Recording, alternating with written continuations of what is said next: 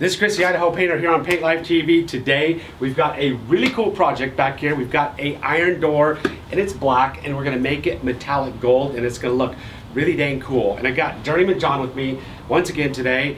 Um, and he's heading up this project. So this is really fun, cool stuff. We love doing this kind of stuff because it's a huge transformation. It's gonna make this entryway look awesome. And we got a product we're using today. It's called Modern Masters. Comes from Sun Valley, Idaho, not too far from California. us. Is it California? Did I Sun, read that wrong? Sun Valley, California. There you go. And um, I was wrong, and we won't edit that out. But here we go. Um, it's you apply it 58 degrees or above, and it dries and recoats in 30 minutes. So we're going to be applying two coats of this, and then we're going to be applying a top coat over the top of that, which is a clear coat, which makes it withstand the weather outside a lot better. We're going to be applying two top coats, and it is an interior and exterior product. What do you got to say about this stuff, John? So Modern Masters, they make lots of different decorative finishes, and different independent retailers will carry them on and off. Uh, they have this is their metallic shimmer, I believe is what it's called, metallic paint collection in a satin, and this color is antique bronze. Um, there's, uh, it's really high quality product. I think one of the things when I first opened it up you know, do the same thing I always do. I'll open it up. I'll check kind of how thick it is, the viscosity between my fingers.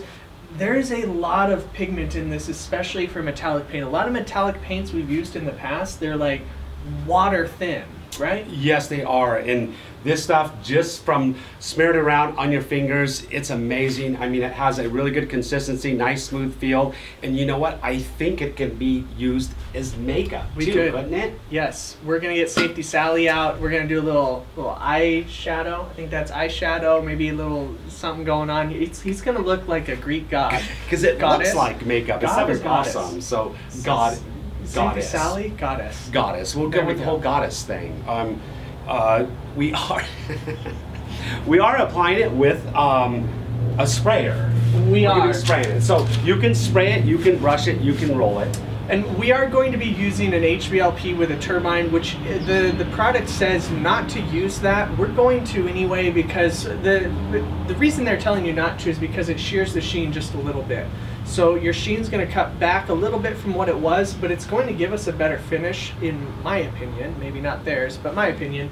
And it's going to be easier to touch up because this is the kind of product where if you brush it one way and then brush it coming back the other way, you're laying those flecks out differently and it looks completely different. So this is going to let us get all those cracks and not have some of those same issues.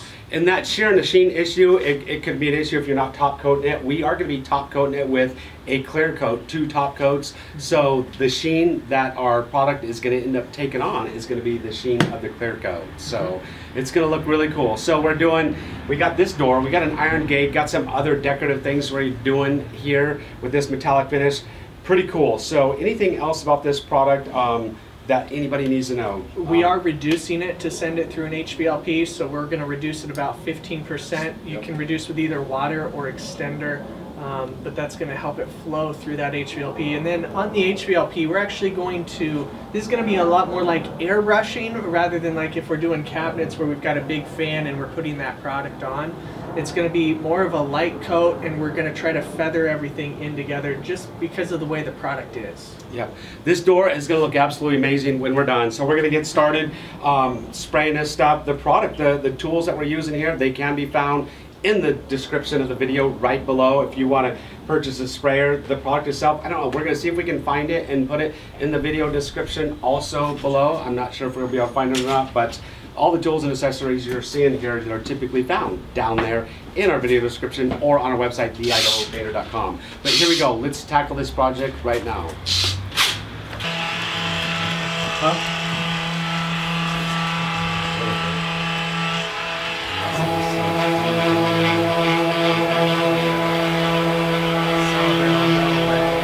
So we're working on the doors here. The previous painters got a, um, sprayed it on pretty bad, got a really eggshelly finish. We are using our Festool sander to attempt to get rid of it, and we're, it's coming off pretty good. So what um, size, what grit paper are we using here, Gabriel? 120 right now. Got a 120 grit sandpaper on here using the Festool sander.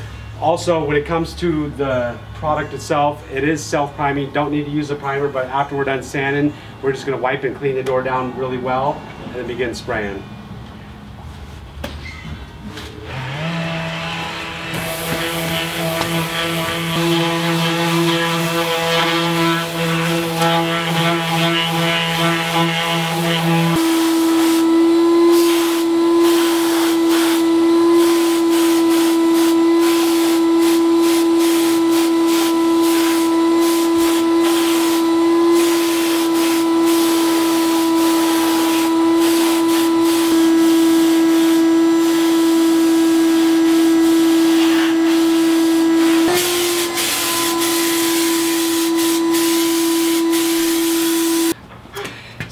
There you have it. Our door is done and it looks, I, I think it looks really, really cool. So we went through the process of spraying our metallic finish on there and then we didn't show you the clear coat because we forgot.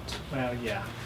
We There was a technical difficulty. technical difficulty, and then also the phone ringing. That would be paint wife. Um, so we use a clear coat. It's the and there's a couple things you need to know when you use this product. You have to use their clear coat, right, John? Well, that's what they tell you anyway.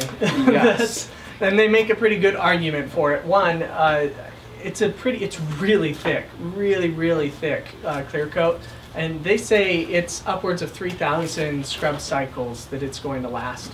Uh, the other thing is they say this clear coat, unlike other clear coats, isn't going to dull or take away the I guess, Shimmer. the shimmer in this metallic kind of finish. Yep. So we really like it. This front, or this front door, you saw it before. It was black.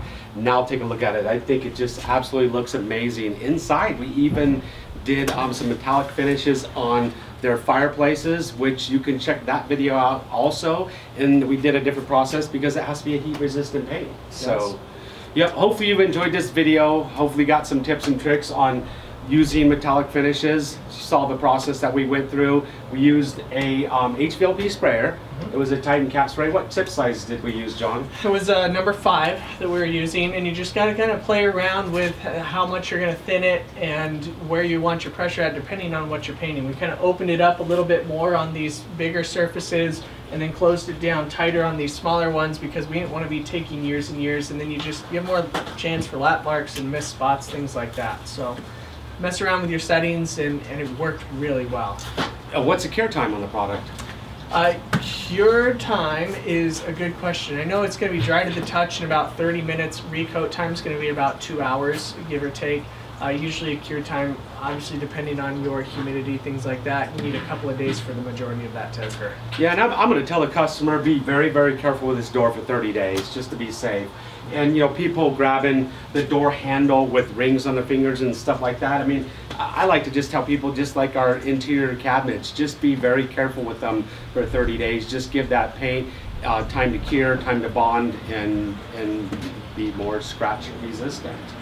So hopefully you enjoyed this video. If you have, please consider giving us a thumbs up. Please consider liking our videos. And down in the video description, what can you find in the video description, John? You're going to find all the tools we use, plus some links to these great products. Uh, what is this? Metallic Paint Collection from Modern Masters and Master Clear from Modern Masters. Modern Masters, Sun Valley, California. And you can go check us out on our website, theidahopainter.com, get more tips and tricks. Check us out on Instagram and Facebook. And how can they find us on Facebook, John? On Facebook, we are The Idaho Painter, and we're Idaho Painter on Instagram. And just like Lucas appreciates, we'll see you on our next video. Ow. Say something about Lucas.